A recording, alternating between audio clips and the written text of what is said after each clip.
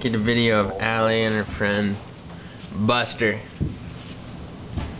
Well, At Allie's, P.O. Christmas kennel. Yeah. Allie's become a little more lively over the past couple months. Okay, Hmm. you won't need me to make Christmas cake. You can store this in your laundry, up in those shelves, because you don't use it very